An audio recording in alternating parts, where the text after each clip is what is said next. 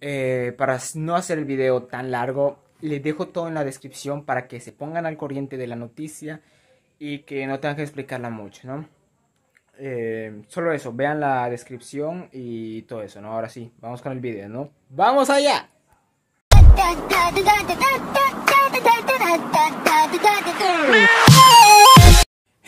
¿Y qué onda chicos y chicas? Estamos aquí con un nuevo video para el canal Esta vez traigo un video más y esta vez traigo un video más de Kisu Opina El día de hoy vamos a hablar sobre eh, el tema de... Oh Dios mío, ya olvidé cómo se llama Devon Erickson se llamaba Devon Erickson No vamos a hablar un poco sobre el caso de Devon Erickson No lo voy a escribir les estaré dejando en la descripción un video, un video que habla más o menos de la situación y un video que habla más desde el punto de vista de la escuela, ¿no? De los participantes, los estudiantes y todo eso, ¿no? A ver, primero, eh, vamos a describir un poco a Devon Erickson y sus motivos, ¿verdad? Después vamos a mentir algunas, algunas cositas que la gente estaba diciendo sobre él.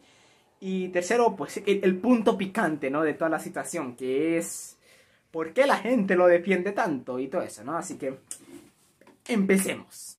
Aclaro que el video lo estoy haciendo un poco espontáneo, así que no, no me regañen, por favor. Bien, eh, primero, Devon Erickson eh, tenía un ayudante, tenía un amigo, ¿no? Que es Alec McKinney. Ah, queden eso ahí y lean, por favor, la noticia que les estaré dejando en la descripción otra vez. Bien, la situación es que Devon Erickson eh, es un músico, actor y criminal. Se le acusa de un tiro Teo, lo digo así porque YouTube se pone feo, ¿verdad? Eh, se le acusa sobre eso en una escuela de Estados Unidos, ¿no? Ya saben lo de... mira, es un meme, realmente es un meme esto de, del chico solitario, de no sé qué, no sé cuánto, que hacen el piu piu en las escuelas. Es un tema bastante serio que se ha vuelto un meme por lo, por lo inquietantemente recurrente que es, ¿no? es algo que sucede bastante seguido en las escuelas de Gringolandia. Les recomiendo, los que tengan Netflix, les recomiendo un video que se llama, un, un video, película, un corto, sí, un corto. Les recomiendo un corto en Netflix que se llama Si algo me pasa, los quiero, es muy hermoso, es muy chulo, la verdad, quiero que lo vean, está muy bueno. Y habla un poco sobre el cómo los padres pasan esta situación. Pero dejando de lado eso, eh, Don Erickson ya tenía un poco de, antecedentes penales. Eh, creo que tenía 30 casos en su contra. Creo que 28 son por intento de homicidio y los otros dos no me acuerdo por qué. Pero el tipo, o sea, ya, ya desde antes ya era un, tipo bastante peligroso. Tiene una personalidad bastante controvertida. Y ese típico mm, tipo edgy de, ah, yo estoy contra del sistema, no sé qué, no sé cuánto, ah, yo soy único y detergente. Y todo eso, ¿verdad? Em, lo que hizo está mal, veas por donde lo veas. Y ahorita voy a hablar sobre, sobre sus... lo que hizo como tal, ¿no? Eh, ahorita estoy escribiendo un poco del cómo es él. Y la situación en la que vivió, ¿no? El tipo pues entró a la escuela, empezó el piu piu piu un estudiante, un estudiante mm, que ahorita, ahorita le voy a poner el nombre en pantalla porque merece honor, la verdad. Un estudiante lo intentó detener y le dio tiempo a los demás para agarrar. Eh, por la noticia que yo leí, él le dio tiempo a los demás para que entre todos lo agarraran y lo detuvieran, ¿va? Para no crear un problema más grande. Que creo que vieron como seis heridos, ocho heridos, no recuerdo bien, no me linchen, por favor lean la noticia. Y, y el estudiante que hizo eso, pues falleció tristemente, ¿no? Eh, yo realmente, antes que nada, me gustaría decir que el chico es un héroe, no cualquier persona viene y dice, ah, ¿saben qué? Voy a sacrificarme por, por este montón de gente. No, no todo el mundo hace eso, la verdad. Probablemente yo no lo hubiera hecho porque da miedo, es una situación aterradora. Tú estás estudiando, feliz de la vida, ah, sí, ah, la escuela, ah, esto es las tareas, ¿verdad? Y en eso viene un tipo loco, patea la puerta y empieza boom, boom, boom para todos lados es un tema bastante serio y trataré de tomármelo con, con esta seriedad, ¿no? Es algo bastante, bastante fuerte. Uno de los motivos de Don Erickson, pues puede llegar a ser el bullying que sufría porque realmente eh, es curioso, ¿no? Pero en este tipo de situaciones el peligro mayor no viene de los bullings, no viene de parte de las personas que hacen daño, viene de los inocentes, no vienen de los que sufren el bullying. Eh, hay un mito que después voy a explicar eh, que dice que sufría de algo más, un tipo de acoso diferente, pero no. Realmente el chico como que lo que leí por ahí decía que sufría de, bullying porque era flaquito, ¿no? Porque era chaparrito, era, era como el Kisu, ¿no? Que, que Kisu es, es, esto esquelético, en plan todo, uh, todo, todo Slenderman, ¿no? Y sufría de bullying por eso, ¿no? Eh, pero fuera de eso, el tipo era, me imagino que era bastante agradable a vista en su personalidad. No lo sé, no creo porque se nos, se nos define como una persona un poco controversial, ¿no? Alguien que es, oh, sí, eh, mío, eh, no, tuyo, oh, tú, mal, yo win, y un poco hardcore, ¿no? Eh, también se nos dice que está un poco en plan contra la ley, la justicia y lo típico, ¿no? Que realmente estas personas son personas que han sufrido mucho y que han terminado haciendo cosas muy, muy malas, no justifica, el, el sufrimiento no justifica realmente lo que haya hecho, eh, porque al final, si yo sufro por algo que no es mi culpa, pues realmente no puedo yo tratar de tomar justicia por esto. No puedo yo decir, ah, bueno, entonces voy a hacerle daño a los que me hicieron sufrir. Porque lo único que esto genera pues es más lío, más violencia y al final no se genera una justicia real sobre todo esto, ¿no? Vamos con, con los mitos que la gente inventó. Ok, la gente estaba diciendo por ahí que, que, que Devon Erickson Em, a ver, el, el, chico, el chico dijo que era abiertamente homosexual y el McCallen, Mackenzie, no me acuerdo cómo se llama el otro, ¿no? Su compañero, dijo que era transgénero, ¿no? Eh, lo afirmaron abiertamente. Y muchos medios, mayormente en TikTok, porque TikTok es como que, oh sí, defendamos criminales, eh, estaban diciendo que él solamente se defendía por, por, su, por ser parte de la comunidad LGBT, ¿no? Mira, a mí me da completamente igual seas gay, seas lesbiana, yo no sé. A mí me da igual eso cuando hablamos de un crimen. Sí, tal vez tú, a ver, en dado caso hubiese sido cierto que es mentira, o sea, el chico no, como ya les expliqué, uno de sus posibles motivos es que le hacían bullying porque era flaquito y era bajito, no, no porque fuera gay. No, no fue por eso que, que le empezó a hacer eso, ¿no?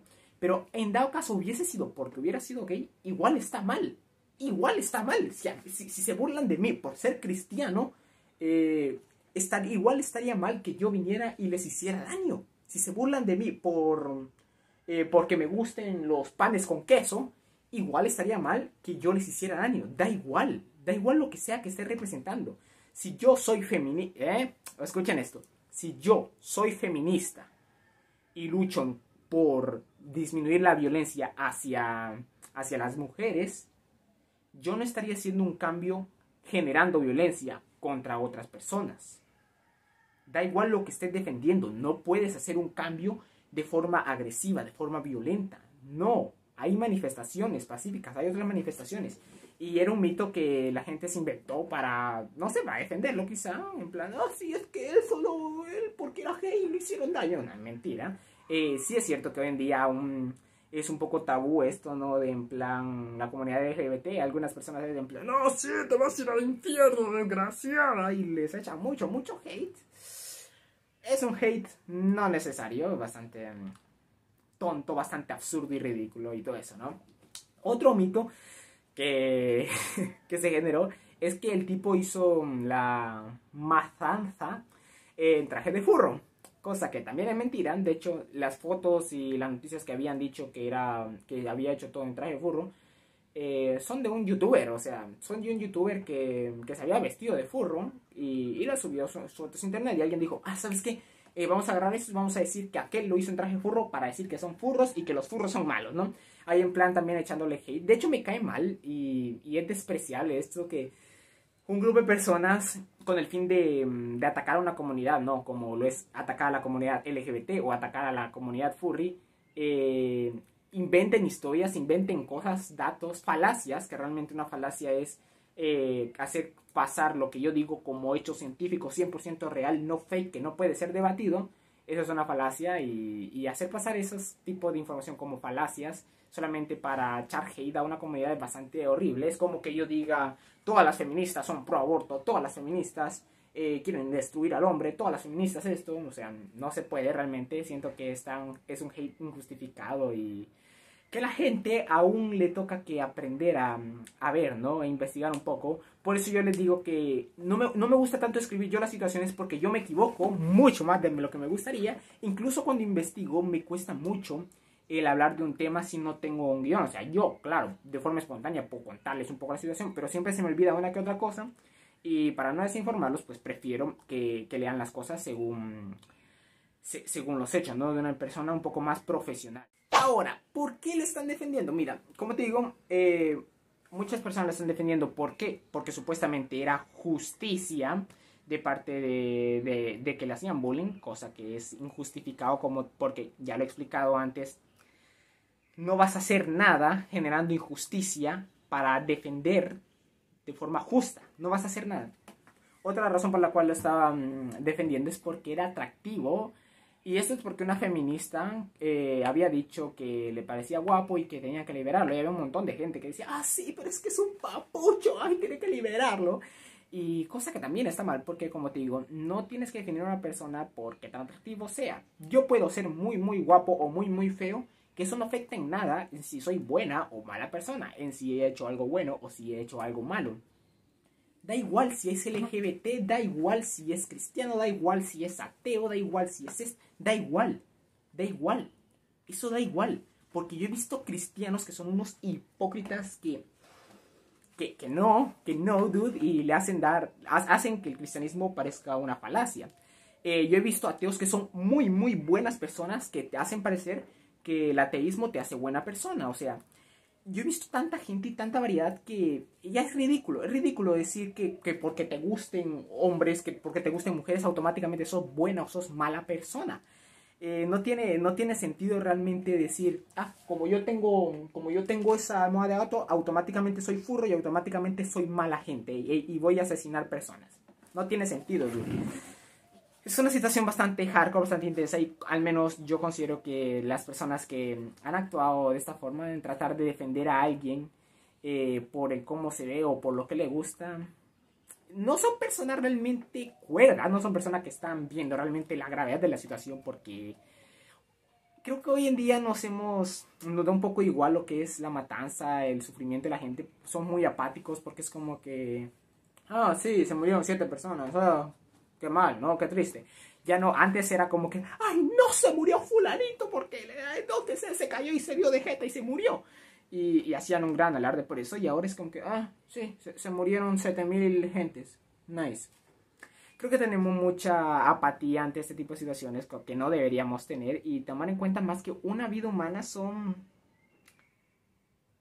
15, 20 años de estudios, 15, 20, 20 a 30 años de, de trabajo de los padres y aún así hay padres que a los 50 años siguen ayudando a sus hijos eh, al amor de muchas personas, eh, todo lo que esta gente ha realizado. O sea, una vida realmente es mucho más que solamente el tiempo que ha vivido.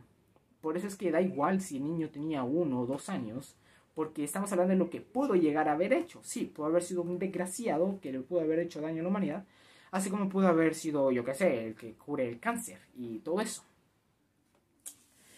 En conclusión, gente, por favor quiero que tomemos en cuenta más esto de investigar, ¿no? El tomar un poquito más de iniciativa por investigar este tipo de temas, ¿no? Y no quedarnos con la primera cosa que nos digan, ¿verdad? Eh, también un poco de analizar a las personas, no tanto por lo que les guste, no tanto por lo que sean, sino más por lo que hacen, ¿no? Juzgar no juzgar un libro por su portada, sino juzgarlo por su contenido. Yo realmente es lo que tengo con la música actualmente me gusta, he de admitirlo, he escuchado canciones de reggaetón que me han gustado el ritmo, porque es un buen ritmo, es un buen, es un buen, pum, pum, pum, pum, es un buen ritmo, es, movido y es agradable. Y, y, todo eso, más no me gusta el reggaetón por la mayoría de contenido que posee. Es así, si una canción, por más linda que sea, por más hermosa que sea, me está hablando de que tengo que asesinar a 70 personas, no es un contenido apropiado para mí. Hay que juzgar las cosas por el contenido y no tanto por, por el regalito, no, no tanto por la cajita del regalito, ¿no? Eh, si te gustó el video, eh, lo siento si hablé un poco serio y todo eso, pero es un tema serio y hay que darle honor a que honor merece. Y nuevamente les estaré dejando una foto y el nombre del chico que falleció. Eh, si te gustó el video, dale like, suscríbete para no perderte nada de mi contenido. activa la campanita para que te lleguen notificaciones cada vez que suba video. Compártelo, que es muy importante, que me ayudas a crecer. Y sígueme en mis redes sociales, que están ahí abajo en la descripción. La música de fondo, cualquier tipo de música que use en el video, también la dejaré abajo en la descripción y todo eso, ¿no? Eh, yo hasta aquí lo voy dejando, ¿no? Y sin más dilaciones, yo aquí lo voy diciendo, ¿no? Hasta la próxima y Shairo. ¡Tú!